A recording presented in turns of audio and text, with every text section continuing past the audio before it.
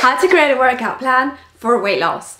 Most of us don't think that we're not enough, that we're not doing enough. Most of us think that we suck. Sometimes you go to the gym and you see other people doing everything fine, you know, everyone, they know what they're doing and you just go and you're like, hmm, I don't know, maybe let me just go onto the treadmill because I don't know how to do anything else. That is not going to be the case anymore you're going to have a plan and you're going to know specific what to do. So to create the perfect workout plan, the first step is to be clear. Now with this video we're going to be very very very specific. It's um it's a workout plan to lose weight and so we're going to assume that you are a beginner, you're working out perhaps once or twice a week maximum. Let's say you want to lose 22 pounds or 10 kilos and you're just doing videos on YouTube but then you're not getting a lot of results. So you're going to commit to three or five days per week. So decide what are you going to commit to. If it's three days per week i would definitely recommend you to do a no body workout. Um, include some heat workouts there as well.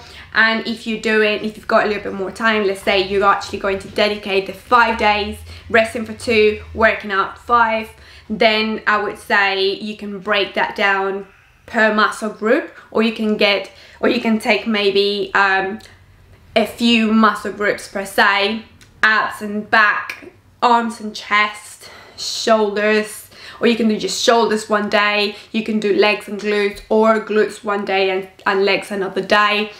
Um, and then specifically work on a series of muscles per workout now, for the first week or let's say week or two, you are literally just going to have your mat ready. You're not going to apply, you're not going to introduce any weights, any resistance bands, any Swiss balls. You literally just, I just want you to do body weight exercises. Why? Because I want you to get used to doing uh, your workouts at least three times per week. If that's what you're going for, if you're going for five days a week, then obviously it's just that consistency. I want you to just basically get, get used to it. Second of all, I want you to concentrate on form. It, there's no point of doing so many exercises and so many reps and if you're just doing it incorrectly. You need to concentrate on your form. You need to make sure that your technique is correct. Um, you can you you can use a, a mirror you can use a camera you can use your phone just to check if you're doing it correctly if you're working out with a buddy have a, a, a workout buddy they can actually help you to correct that form. Or if you're following a video or if you're following a plan from someone, then just make sure that you are paying attention to the technique and to the teaching points as well. Each exercise will have a correct way to do it. And sometimes when you exercise, just by tweaking something small, you will make your muscles work out a lot more. So just make sure that your form's correct, make sure that you're listening to all them teaching points. So how do you structure your workout? Firstly, I would say do a dynamic stretch. That's to get your joints ready for a workout. Then you go into a three to five minutes warm up just to get those muscles ready for the workout and your joints ready for the, wor the workout. Do your, um, after the warm up, you do your main workout, whatever availability you have make sure that your workout goes there and then afterwards you can you can either do a static stretch or a cool down and a static stretch. The cool down it's mainly if you are doing let's say like um, a high intensity interval training then you just do something a little bit low intensity at the end just to cool down. Otherwise just after your final set once you rest then do your static stretch. Now the workout. The main thing, we are here.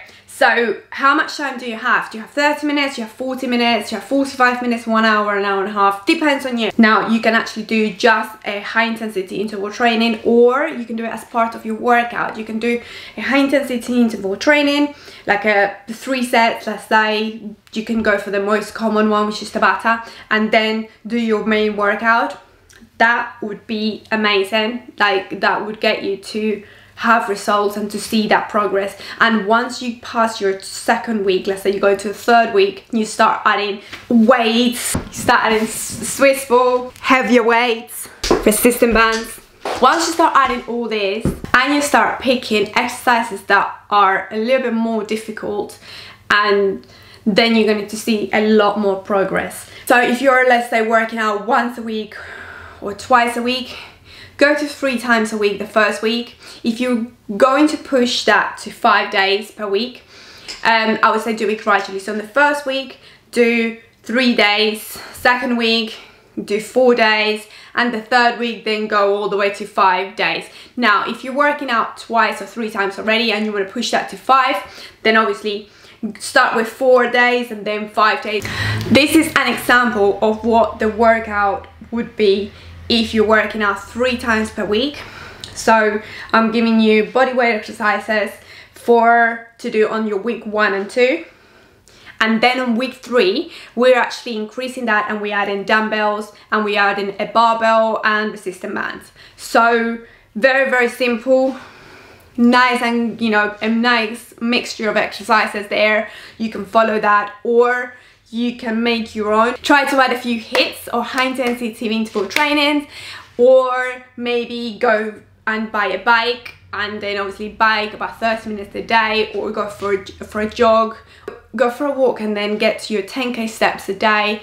Um, that will help you. The more that you move the more calories that you're burning. Remember working out it helps because you're burning calories and you're growing your muscles. You're basically uh, applying resistance to your muscles but it doesn't mean that you're going to lose weight just by doing exercises you need to make sure that you're more active you need to go out and walk as much as possible or if you can get a peloton bike and then you know you don't even need to go out or you can get a static bike um, so just find what works for you. I'm not saying that you have to get a Peloton bike. I'm just saying that if you can, if you want, I know that one of my clients, she is loving it. So if that works for you, then do that. Otherwise, obviously a, it's a, it's a big investment.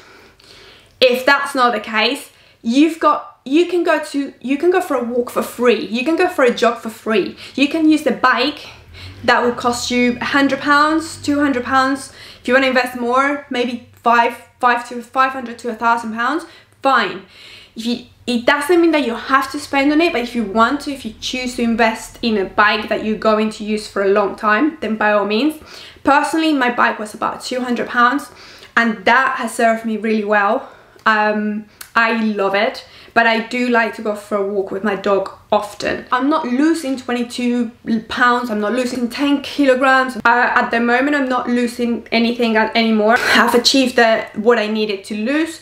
Now I'm basically building. So that doesn't apply to me but I'm still very active which means that once you get to your goal it's a lifestyle. It's not something that you're just gonna do now and then. You know what? goes me crazy when people just go on diet and then they just say oh I'll start my training next week so just make sure that you're consistent and you understand why you're doing it so this is my example for for if you want to work out five days a week um, the first two weeks I'm giving you body weight exercises as well but then they're more specific. They're divided per muscle group. Um, I've taken legs then I've gone for um, arms and chest then I'm gonna go I've gone for abs on the fourth day. You're working out your back and on day five you're working specifically just your glutes. So um, I would recommend you to do that for the first and second week. Again you don't have to stick to these exercises. These are just an example. You can find your own exercises as well. Um, on from the third week onwards then I've introduced weights I've introduced dumbbells barbell and I've introduced resistance bands. Um, specific as well and breaking it down into muscle groups. I would definitely recommend you as well, if you even if you're doing your five, um, five working out five days a week and you're doing these exercises, I would definitely recommend you to go for maybe three minute HIITs um, per week or go for walks. Again, same step, the previous examples work here. Peloton bike, your own bike, go for walks, go for jogs be as be active be as be as active as possible. You need to if you are on a weight loss goal you need to be burning calories as many calories as possible. I, i'm not telling you to leave your netflix. Who doesn't like who doesn't love the netflix? I love series. I'm addicted. But if you keep doing the same thing that you're doing and you, you expect a different result, it's like banging your head against the wall.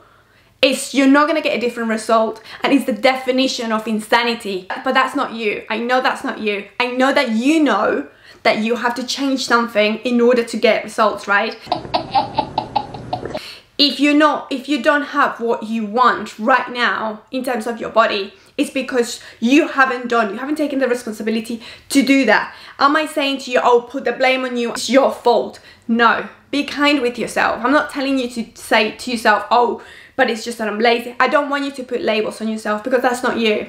When have you decided that you are not sporty? When do you decide that you're heavy? Those are just labels that people put in your head and you've believed them because they've told you, they've told you that many, many times. I, I, I'm here telling you that's not true. So make sure that you're kind to yourself, but you take action. Don't be a, big, a victim. You're not a victim. You are the owner of your life. So take responsibility and make sure that you make you do the changes that you need in your life. I will put a link here so you can start with your food so you can actually see what you can do in terms of um, nutrition for weight loss and I want you to have a plan now increase your protein reduce your portions make sure that you rearrange your macros a little bit but do not starve. Do not go on diet after diet. That doesn't work. Consistency works. Consistency of new habits. That's what's going to give you those long-term results. Mindset. Mindset is what keeps you motivated. Mind so once you make a decision to make a change that's it. You've made a decision so stick to it. And no matter what this is the new you. This is your new you. So make sure that you are making the changes that you need to do. Be patient. Do you plant a seed and sit in front of a pot waiting for the flower to appear? No of course not. Right? Like seriously. So why would you expect results after a week of exercising, let's say you've done a couple of HIITs and then you start looking like, hmm, I want to see, hmm, I don't see any results. Like, what? But I've just done two workouts. So yes, patience, be patient and stay consistent. Don't forget to like, let me know in the comments below what you're struggling with, what would be, what was your favorite workout from this list, and I'll see you in the next video. Have an amazing week, guys.